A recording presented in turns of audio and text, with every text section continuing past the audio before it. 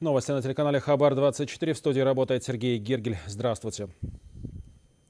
Больше 30 человек пострадали при взрыве в кафе в центре столицы. Не обошлось, к сожалению, без жертв. Одна из раненых скончалась по дороге в больницу.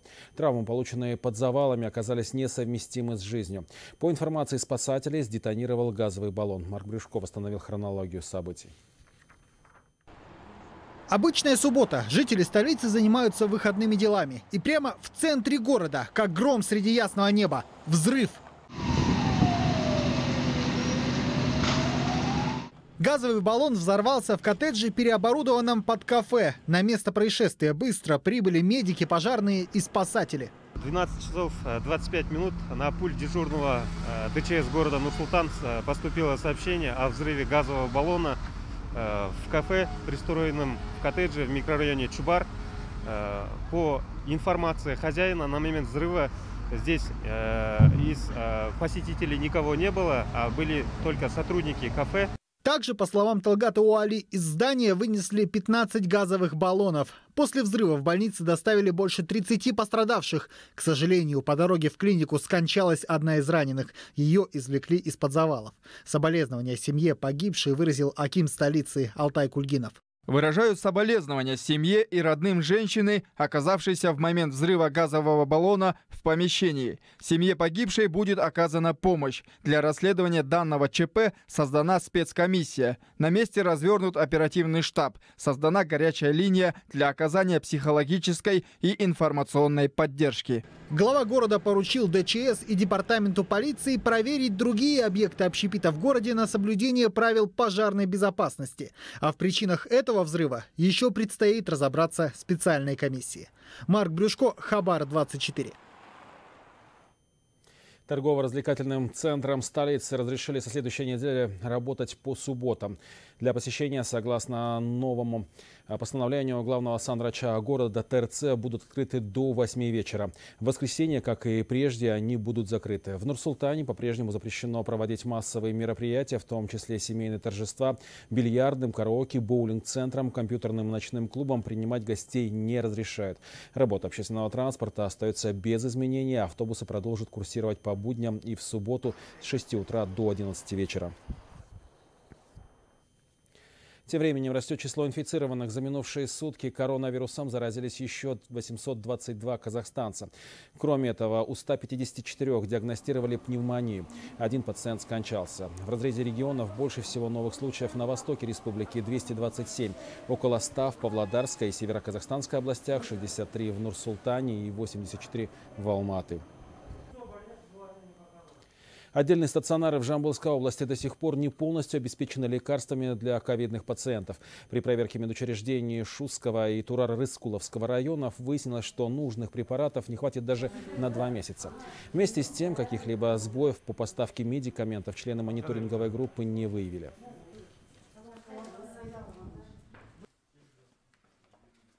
Например, в Муинкумском районе, э, центральной районной больнице, провизор э, не имел э, информацию о себе, сколько у него имеется э, препарата на складе. Также не имел информацию, сколько нужно лекарственных средств, чтобы обеспечить двухмесячный запас лекарственных средств на складе. Такие замечания были выявлены в Шурском районе и Турарскурском районе. В китайском Тяньцзине, что на северо-востоке страны, зарегистрировали новый случай коронавируса. При этом первые тесты у заболевших показали отрицательные результаты, и только повторные анализы оказались положительными. Для Поднебесной случаи заражения, конечно, несущественные, но полностью искоренить инфекцию власти пока не могут. Вот такой Сыргабаева подробнее. Новые случаи коронавируса зарегистрированы в Китае. И снова тот же сценарий – изоляция и тестирование близких контактов больных. Причины заражения людей в Тинзине пока выясняют. Одновременно ежедневно сообщают о новых завозных случаях. Для того, чтобы контролировать эпидемическую ситуацию в стране, власти усилили контроль на границе. Мы закрыли 46 сухопутных портов и 66 переходов для жителей приграничных территорий. Усилили охрану, чтобы не допустить незаконного проникновения на территорию Китая. Мы продолжим временный запрет на въезд иностранцев с действующими визами и разрешением на проживание в КНР. Также ужесточили рассмотрение и утверждение заявлений граждан страны на въездные и выездные документы по вопросам второстепенной важности, как туризм. Для тех же, кому разрешили въезд в страну, ужесточили требования. Теперь человек не ранее, чем за 48 часов до вылета должен сдать два теста на COVID-19. Это традиционный ПЦР-тест и анализ на антитела. Если второй вид недоступен в стране, то его можно заменить повторным тестом на нуклеиновые кислоты. Это делается для точности результатов. Это вынужденная мера. Основополагающим является именно тест на нуклеиновые кислоты. Тест на антитела дополнительный потому что у ПЦР-теста есть определенный процент ложно-отрицательных результатов. Сейчас в Китае очень большая нагрузка в сфере контроля и профилактики эпидемии, поэтому власти не ослабляют меры. При обнаружении одного или двух случаев мы сразу проводим массовое тестирование населения. Китае выявили около 3600 завозных случаев COVID-19. С октября эта цифра растет. Участились и единичные локальные случаи заражения. Поэтому жителям настоятельно рекомендуют продолжать носить маски, соблюдать гигиену рук и социальную дистанцию. Батагос Сыргабаева, Айгерим Сулейменова, Хабар 24, Китай. Число зараженных коронавирусом в мире продолжает неуклонно расти и уже перешагнуло отметку в 57,5 миллионов.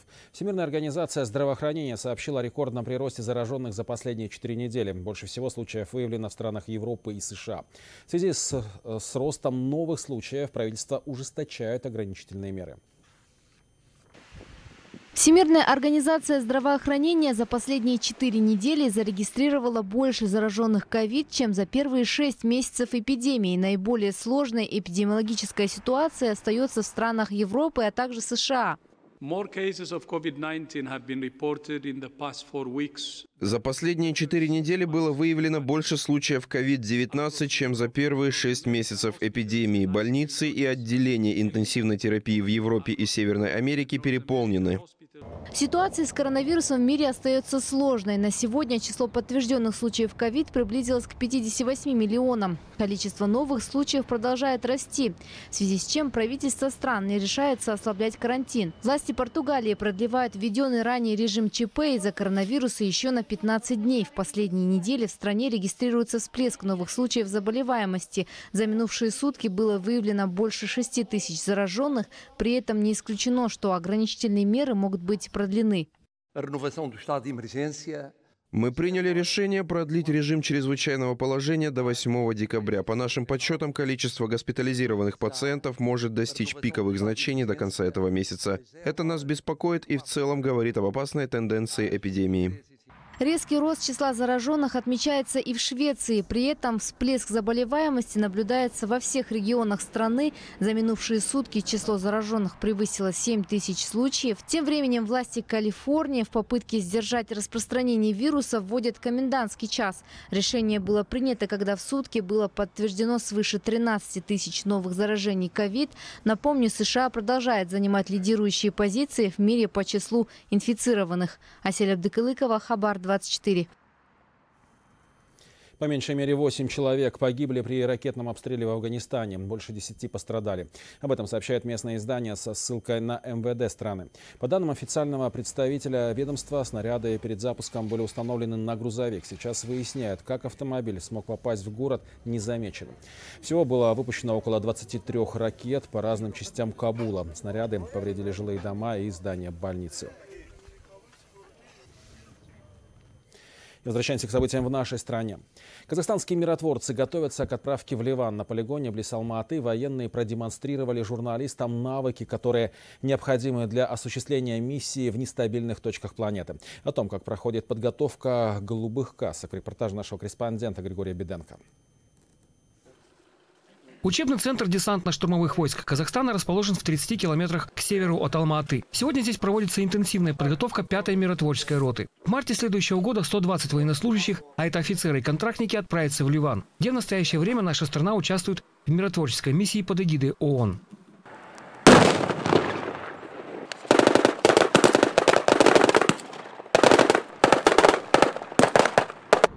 Миротворцы никогда и ни при каких условиях не должны первыми применять оружие.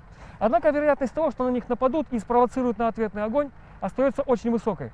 Поэтому военнослужащие должны быть хорошо подготовлены к подобным ситуациям. Подготовка делится на три этапа. Сначала психологическое тестирование, медицинское обследование и сдача тестов по физподготовке. Затем теория. Это изучение английского языка, инженерная, тактическая и медицинская подготовка. И, наконец, третий этап – практические действия на местности. На практике миротворцы совершенствуют навыки организации службы на блокпостах, контрольно-пропускных пунктах, осуществляют патрулирование. Миротворцев в течение трех месяцев обучают инструкторы Казахстанского миротворского полка, которые имеют опыт миротворческой деятельности – преподаватели Центра миротворской подготовки, специалисты Центра разминирования и Центра военной медицины. Казахстанские миротворцы находятся в Ливане уже около двух лет. Наши военные работают в тесном контакте с индийскими и выполняют задачи в районе Ливано-Израильской границы. Любопытно, что впервые в этой миссии в состав роты включены военнослужащие не только десантно-штурмовых войск, но и региональных командований. По опыту прошлой ротации в условиях коронавирусной пандемии э, отправка делится в два этапа. То есть первые 60 человек возвращаются на родину с Ливана, их заменяют уже новые, вновь прибывшие военнослужащие. И также наоборот. При возвращении на родину э, военнослужащие отправляются на карантин на две недели. Из-за пандемии последняя замена личного состава миротворческой роты в Ливане была отложена почти на три месяца. Кроме того, ситуация в этой стране серьезно обострилась после взрыва в морском порту Бейрута. На помощь населению пострадавшего города тогда пришли наши военные медики. Так что вряд ли можно назвать эту миротворческую миссию легкой. Ближний Восток – регион непредсказуемый. И боевой опыт, полученный там, для наших вооруженных сил незаменим. Григорий Беданко, сержант Жумабаев, Алматинская область, Хабар 24. Премьер-министры Казахстана и Узбекистана провели переговоры в Туркестане. Главы правительства обсудили вопросы сотрудничества, в том числе в торгово-экономической, инвестиционной, сельскохозяйственной и таможенной сферах. Узбекистан – основной торговый партнер Казахстана в Центральноазиатском регионе. По итогам прошлого года товарооборот между нашими странами достиг 4,5 миллиардов долларов. Стороны намерены нарастить его до 10 миллиардов. После Аскар Мамин и Абдулла Арипов приняли участие в церемонии открытия совместного предприятия по производству производству текстильных изделий в Туркестане. Швейная фабрика размещена на площади в 2 гектара в индустриальной зоне Туркестан. Предприятие позволит создать свыше тысячи новых рабочих мест для женщин, в том числе с особыми потребностями. Аскар Мамин также показал премьер-министру Узбекистана новые объекты, международный аэропорт, Конгресс-холл, центр Улы-Далай-Еле и стадион Туркестан-Арена. Глава правительства также ознакомились с ходом строительства многофункционального туристического комплекса «Караван-Сарай», мечети на 5000 мест, посетили мавзолей Хаджи Ахмета Яссауи и возложили цветы к памятнику Абая. В Уральске инициативная группа требует пересмотреть нормативы сдачи экзамена по вождению. Дело в том, что две трети курсантов, легко пройдя теоретический курс, практику на автодроме не могут сдать даже с третьего раза. В специализированном ЦОНе отмечают, будущие водители приходят совершенно неподготовленными, а упрощать правила значит повысить риски ДТП. Моя коллега расскажет подробнее. Датчик вот идет, да, человек вот здесь проехал, вот чуть коснулся, уже за все. них считается 20 балл жиырма балл сразу кетеді Он при этом он еще не нарушил ничего. Понимаешь, за бордюр не заехал никуда. Это штрафные баллы. За каждое нарушение своя оценка. Если набрал 100 баллов, приходишь на пересдачу через неделю. С третьей попытки практический экзамен платный. Это для выпускников автошкол. А у самоучек всего три попытки. Каждое нарушение менде компьютерда На мониторе фиксируется каждое нарушение. 25 штрафных баллов начисляется за приближение к стоп-линии. Не пристегнутый ремень – 5 баллов. Не включенный поворотник – 5. Не остановился за метр до зебры – еще 25 баллов. Больше всего срезаются на детекторных линиях, там 20 баллов. За водительскими удостоверениями в автоцон в день приходят до 200 человек, только третий удается сдать вождение на автодроме. Курсанты жалуются. В зоне постоянно очереди, из-за непогоды не работают датчики, часто ломается автомобиль. Сдавших экзамен единицы. Сдала еще вся на эмоциях, ребят, правда, серьезно, еще он потряхивает немножечко, но зато все прошло, наконец-то права получу. Первый раз я немножко сама прошляпил, не в тот поворот повернул, без одной ошибки, но второй раз все идеально. Курсанты приходят совсем неподготовленные.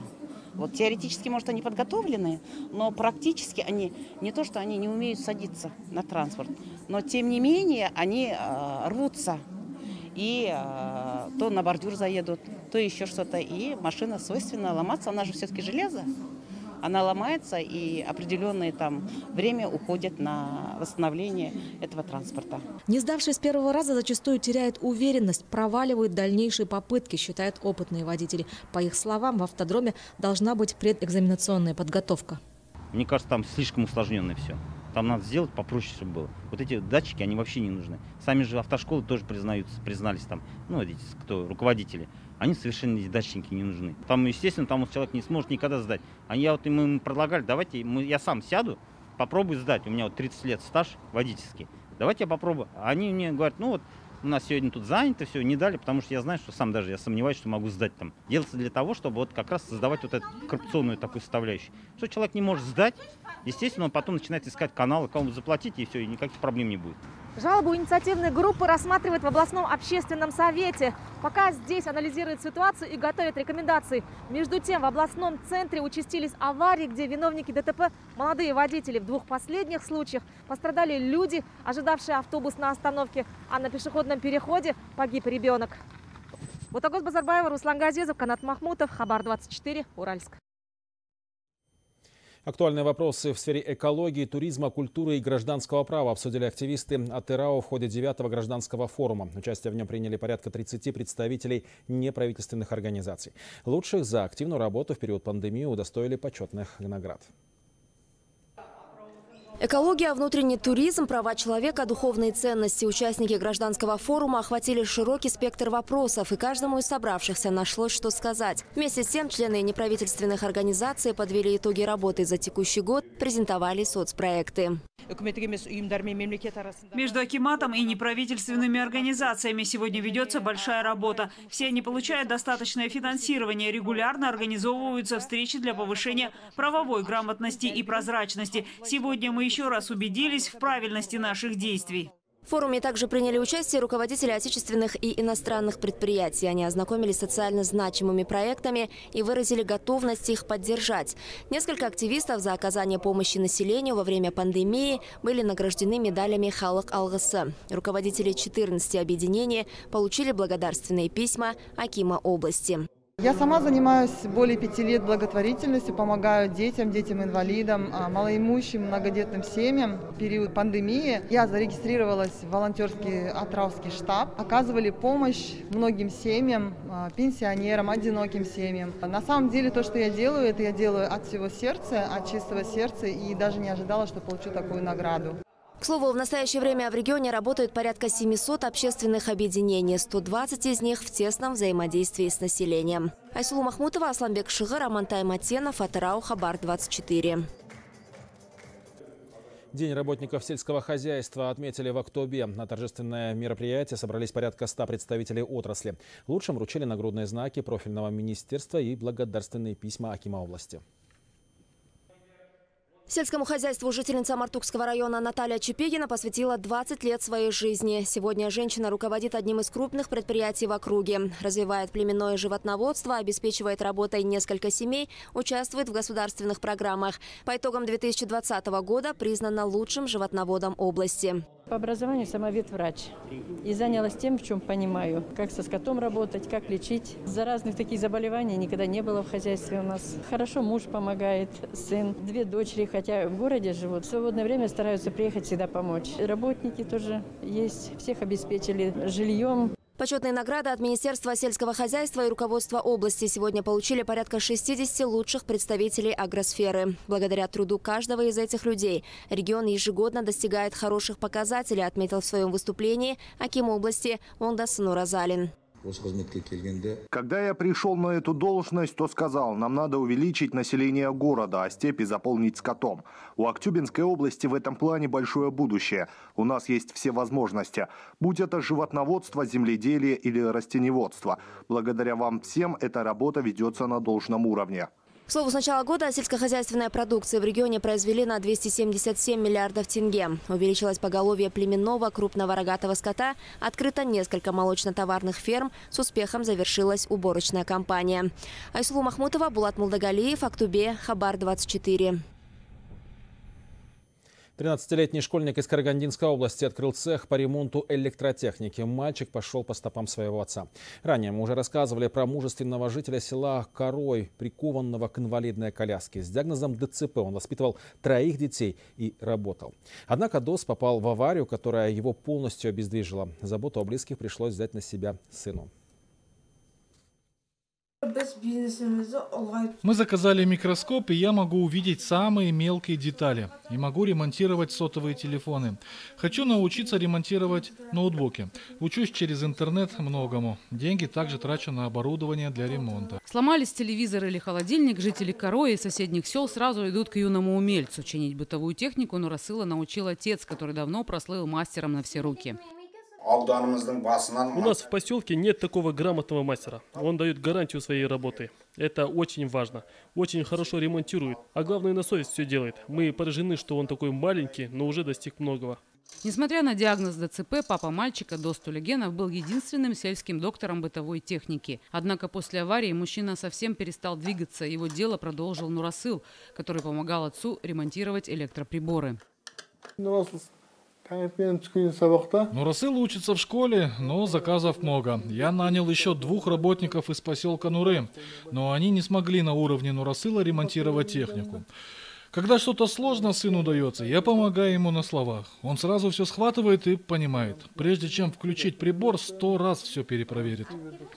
Теперь 13-летний Нурасыл – единственный в селе мастер электротехники, талантливый юноша и учится хорошо. Любимый предмет, конечно же, физика. За время своей работы никогда не видела такого ребенка, который так разбирается в технике. Это действительно уникальный мальчик. В школе таких больше нет. Иногда бывало, что я ему на ремонт отдавала свою плойку.